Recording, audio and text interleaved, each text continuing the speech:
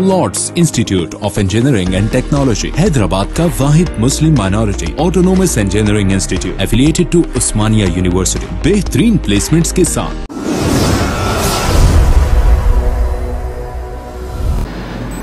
नहमदहू वनसली अला रसूलिहिल करीम अम्मा बाद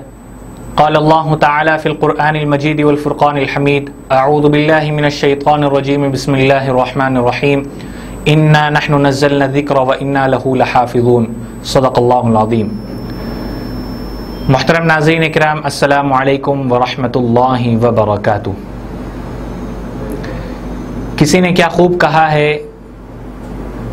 है कौल मोहम्मद कौल खुदा फरमान न बदला जाएगा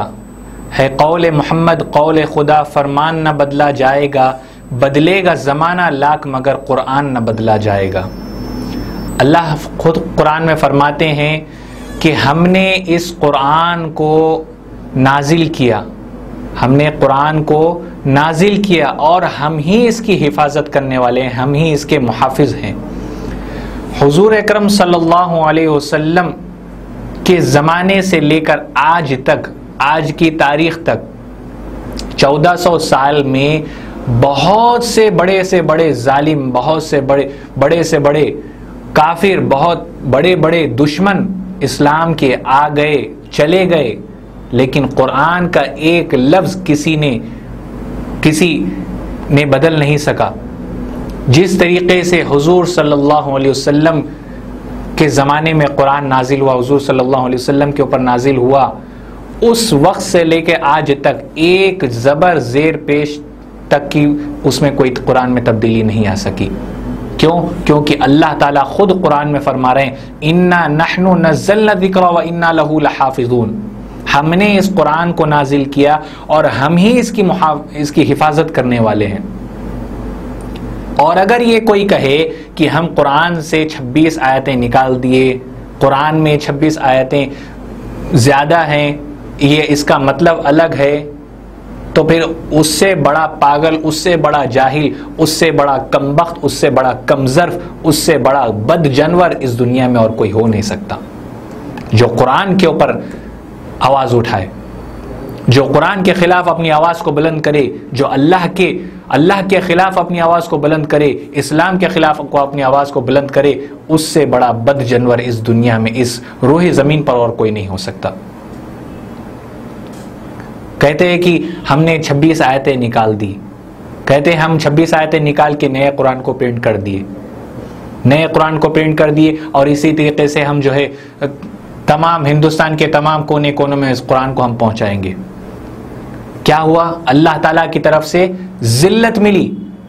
अल्लाह की तरफ से जिल्लत मिली सुप्रीम कोर्ट की तरफ से उसको पचास हजार का फाइन पड़ा सुप्रीम कोर्ट में उसने केस किया वो केस तो हुआ नहीं उल्टा पचास हजार का जुर्माना पड़ा वो खंजीर के ऊपर जिसका नाम लेना भी मैं समझता हूं कि मेरी शान के खिलाफ है मेरी मेरी शान मेरी इज्जत मेरे मर्तबे मेरे मकाम के खिलाफ है कि मैं उस खंजीर का नाम तक ले लूं मुझे लेने की उसके नाम लेने की कोई ज़रूरत नहीं है सारी दुनिया जानती है कि मैं किसके बारे में बात कर रहा हूं सारी दुनिया जानती है लोग ये कहते हैं कि भाई आपको इस बारे में कहने की क्या ज़रूरत है आपको इस बारे में इस तरीके के अल्फाज निकालने की क्या ज़रूरत है मैं उनसे कहता हूँ मैं उनसे कहता हूँ ज़रा अकल से काम लो तुमने हमको और तुमको ये दीन ये दीन हमको और तुमको एक मुफ्त में मिला है कोई मेहनत नहीं करनी पड़ी हमें कोई उंगली कटाने या कोई गर्दन कटाने की जरूरत नहीं पड़ी हमारे रिश्तेदारों को हमारे खानदान वालों को ये फ्री फ्री में हमको ये चीज़ मिली है और जब जो चीज़ फ्री में मिलती है ना उसका कोई जो है कोई उसको ज़्यादा संभाल के नहीं रख सकता ज़्यादा उस पर अमल करने की कोशिश नहीं करता यही वजह है हुजूर सल्लल्लाहु अलैहि वसल्लम फरमाते हैं कि अगर कोई चीज़ तुमको बुरी लगे और अगर तुम्हारे पास हाथ से ताकत रोकने की ताकत है तो तुम उसको हाथ से रोको नहीं रोक सकते जबान से रोको कहकर रोको और अगर ये भी नहीं कर सकते तो आखिरी दर्जे का कमजोर जो सबसे कमजोर है जो सबसे कमजोर जो सबसे नीचे वाला जो दर्जा है ईमान का वो ये है कि अपने दिल से कम से कम उसको बुरा समझो अपने दिल से बुरा समझो अगर कोई फिल्म स्टार की बात होती है तो हम यूट्यूब पे वीडियोस डालकर ये कहते हैं कि हम उसकी ताइद कर रहे हैं कोई एक्ट्रेस अगर कुछ बोल देती है देश के हित में अगर कोई बात करती है उसके खिलाफ करती है तो हम वीडियोस बनाकर जो है ये बात कर, कहते हैं हम जो है उसको ट्रोल करते हैं हम उसके खिलाफ बात करते हैं कभी हम उसके ताइद में बात करते हैं लेकिन जब कोई अगर हमारे नबी के शान में गुस्ताखी करता है कोई खंजीर हमारे नबी के शान में गुस्ताखी करता है सहाबा को, को गाली देता है अल्लाह की किताब को झूठी करार देता है नौजबिल्लाजालिक और ये कहता है कि ये नबी आखिरी नबी नहीं है ये नबी सच्चे नबी नहीं है तो हम ये सोचते हैं कि हमको इसके ख़िलाफ़ बोलने की क्या ज़रूरत है हम बोलेंगे तो हम पर केस हो जाएगा अरे अल्लाह के बंदे तुम केस से डरते हो वो तुमको नबी की मोहब्बत याद नहीं वो तुम्हारे और मेरे लिए उन्होंने अपने नवासों को कुर्बान कर दिया इस उम्मत के लिए अपने नवासों को कुर्बान कर दिया इस उम्मत के लिए अपने दंदाने मुबारक को शहीद कर दिया इस उम्मत के लिए इतनी तकलीफें उठाई ताइफ के मैदान में आपको पत्थर मारा गया आपका पैर लहू लहान हो गया इस उम्मत के लिए और वो उम्मत का ये स्टैंड है आज हम ये कहते हैं कि हमको कहने की क्या जरूरत है वो जैसा करेगा वो वैसा भरेगा याद रखो नौजवानों याद रखो मुसलमानों मैं आज आपसे कह रहा हूं ये बात ये बात मेरी याद रखना सुबह कयामत के दिन आपका गिरेबान पकड़ा जाएगा नबी कहेंगे मैंने तुमसे इतनी मोहब्बत की मैंने तुम्हारे लिए हर चीज को कुर्बान किया मैंने अपने बेटे को कुर्बान कर दिया अपने बेटे को कुर्बान कर दिया मेरे पास मौका था अगर मैं दुआ मांगता तो अल्लाह उसकी जान बख्श देते लेकिन मैं दुआ को बाकी रखा ताकि मैं क़यामत के रोज़ अपनी उम्मत को बचा सकूं और आज तुम मेरे गुस्ताख को उसको तुम उसके बारे में कुछ नहीं कहे उसके लिए तुम कुछ नहीं किए जो गुस्ताख होता है जो गुस्ताख नबी होता है वो वाजिबुल कत्ल है कत्ल करना वाजिब है हज़रत अब्दुल्ला बिन उमर रज़ी से किसी ने आके कहा कि फला गली में एक औरत है वो नबी को नौजबिल्ला गालियां दे रही है उनके शान में गुस्साखी कर रही है इसके बारे में क्या फतवा है इबन उमर ने कहा कि तुम फतवा पूछते हो उसको कत्ल क्यों नहीं किए कोई फतवा नहीं है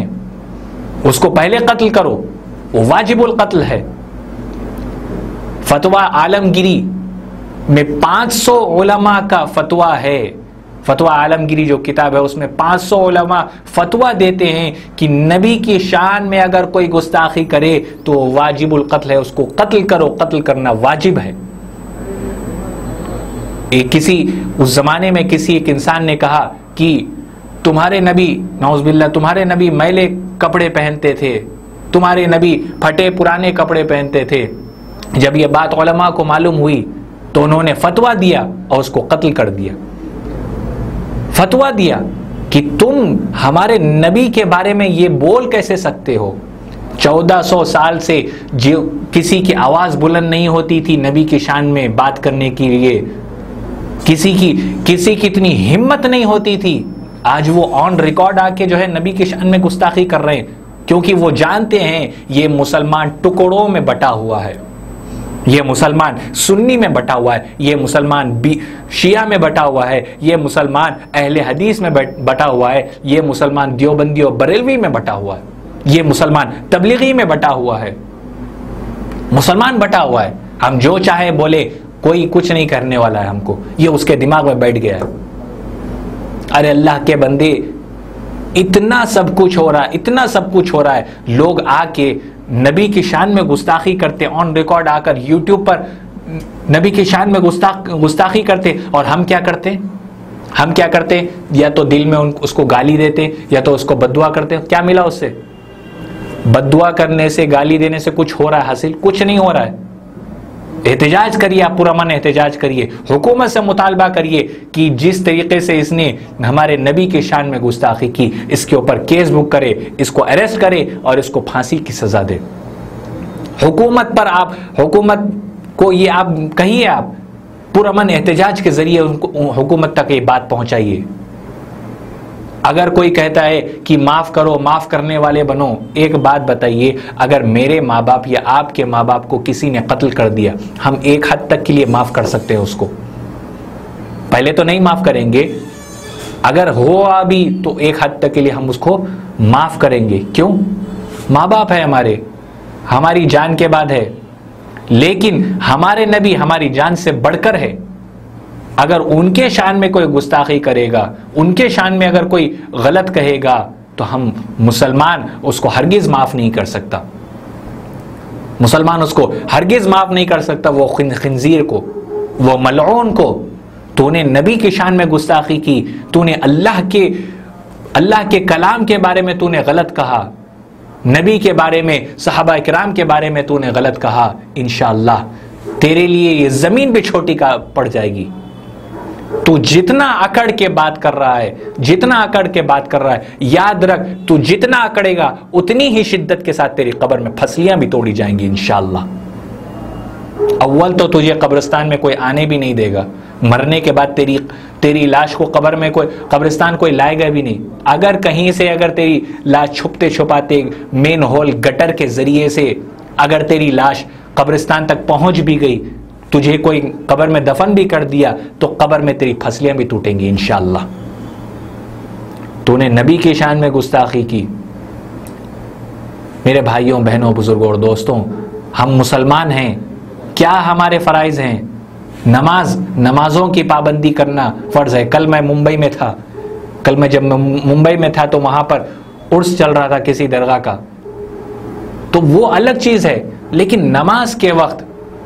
नमाज के वक्त तो आप नमाज पढ़िए कम से कम वहाँ का लो, local news channel local news channel वाले कह रहे हैं लाइव आकर कि नमाज का वक्त हो गया हम लाइव रिकॉर्ड बंद कर रहे हैं चलिए नमाज की तरफ यहाँ तक के मस्जिद के मीनार से जो लाउड स्पीकर लगा है अजान के बाद मगरिब की नमाज के बाद जैसा सब जानते हैं कि मगरिब की नमाज फ़ौरन होती है तो लाउड स्पीकर से आवाज़ दी जा रही है कि नमाज ठहरने वाली है जो लोग बाहर हैं खड़े हैं जुलूस में हैं वो फ़ौर नमाज की तरफ आ जाएं फ़ौर नमाज की तरफ आ जाएं और मुसलमान पटाखे फोड़ने में मुसलमान नारे लगाने में अल्लाह के बंदे वो करना फ़र्ज़ नहीं है लेकिन नमाज़ पढ़ना फ़र्ज़ है नमाज पढ़ना फ़र्ज है वो सुन्नत नहीं है लेकिन नमाज मस्जिद में जाकर पढ़ना फ़र्ज है जब हम नमाजों की पाबंदी करेंगे जब हमारी सफ़ों में इतिहाद होगा जब हमारा जब हमारा खौफ ऐसे दुश्मनों के जहनों में घूमेगा तब ये जो है कोई किसी की हिम्मत नहीं होगी कि नबी के शान में गुस्ताखी करे या कुरान के ऊपर कोई कमेंट करे या अल्लाह के बारे में कुछ कहे ये सारी कायनात का मालिक बेशक अल्लाह है सारी कायनात को पैदा करने वाला अल्लाह है अगर कोई अगर कोई नबी की शान में गुस्ताखी करे तो हम ये बिल्कुल बर्दाश्त नहीं करेंगे हम ये बिल्कुल बर्दाश्त नहीं करेंगे जितनी बातें मैं आपसे कहा मैंने आपसे कही है उसको अगर सही ढंग से अगर हम समझेंगे और उसके मुताबिक अगर हम कोशिश करेंगे तो इन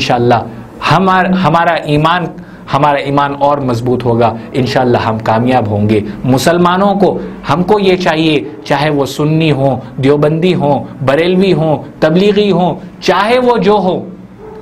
वो चाहे जो किसी मसलक के हों हमको एक प्लेटफॉर्म पर आने की ज़रूरत है हमको एक साथ कंधे से कंधा मिलाकर नमाज पढ़ने की ज़रूरत है एक साथ हमको जो है रहने की ज़रूरत है हम एक साथ नहीं होंगे तो ऐसे लोग हमारे दीन पर हमारे नबी पर उंगलियां उठाएंगे और इनके दिल में ये कोई खौफ नहीं होगा क्योंकि वो ये जानते हैं कि मुसलमान बटा हुआ है कोई हमारा बारे में हम हमको कोई कुछ नहीं कर सकता अगर इनके अंदर खौफ पैदा करना है इनके जहनों में इनके दिल में तो हमको एक होना पड़ेगा जितने मसलक वाले हैं एक साथ खड़े हों एक साथ खड़े होकर कांधे से कांधा मिलाकर चले एक साथ खड़े होकर हम नमाज पढ़ें एक साथ अमन का हम मुजाहरा करें तब इन हम कामयाब होंगे और हमारी दुनिया भी कामयाब होगी और हमारी आखिरत भी कामयाब होगी जितनी बातें कही गई अल्लाह ताला हम सबको कहने और सुनने से ज़्यादा अमल की तोफ़ी अता फरमाए आमीन या आलमीन व आखिर दावान रब्बिल आलमीन Ghazi kidney centre and multi speciality hospital गुर्दे और बबासिर के इलाज का 40 साल मशहूर हॉस्पिटल जहां हजारों पेशेंट्स क्योर हो चुके हैं doctor Husaini international national award winner और दूसरे डॉक्टर्स और लेडी डॉक्टर्स की जेर खिदमत गुर्दे के तमाम अमराज का मुकम्मल ट्रीटमेंट किया जा रहा है गुर्दे फेल हो चुके हों डायलिसिस करवा रहे हों याद रखिए डायलिसिस कोई इलाज नहीं इससे एक फीसद भी गुर्दे रिकवर नहीं होते हाँ डायलिसिस टेम्पररी रिलीफ दे सकता है लेकिन हमारे ट्रीटमेंट से गुर्दे फिर से फंक्शन में आ सकते हैं गुर्दे श्रिंक हो गए हों या सिस्ट हों गुर्दे की पथरी हो कैसी भी गुर्दे की तकलीफ हो या पाइल्स यानी बवासीर चाहे ब्लीडिंग हो या कोम बगैर ऑपरेशन मुकम्मल क्योर ट्रीटमेंट का एक ही centre Ghazi kidney Center, DLRL Main Road, opposite Vikas High School, Chandrayan Gutta, Hyderabad. Cell 9966930824 ya 9391326261.